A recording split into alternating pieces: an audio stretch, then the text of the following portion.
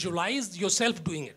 You know, I have to say that uh, apart from, uh, I think, our cinematic vision and our content, we face a lot of infrastructure obstacles.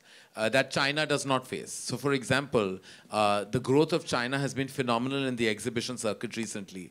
Uh, just their statistics are just on another level altogether. They're almost competing with Hollywood where it comes to footfalls and it comes to infrastructure.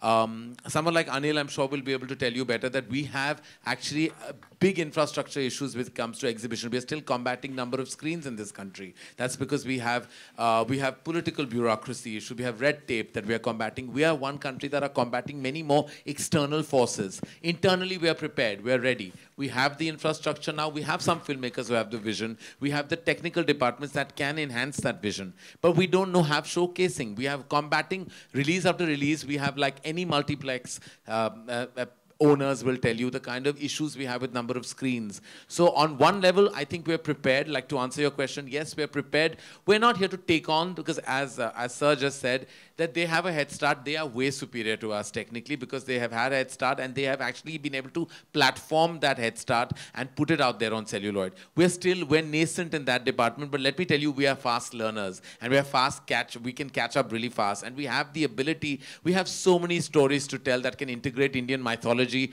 with computer graphic cinema but we have not been able to showcase them. We are still combating sound issues. We're still combating space issues. We're combating a lot of issues that require the information and broadcasting ministry to intervene and enhance us as an industry. We are very crippled. We're all we're only we're only we are either fighting censors or we are fighting screens. We are fighting political issues. We no nobody else is fighting those issues that we are fighting on a daily basis. Every day we have we are fighting FIRs and all this. I mean, every day if somebody just left Indian cinema alone alone, we would prosper, but no one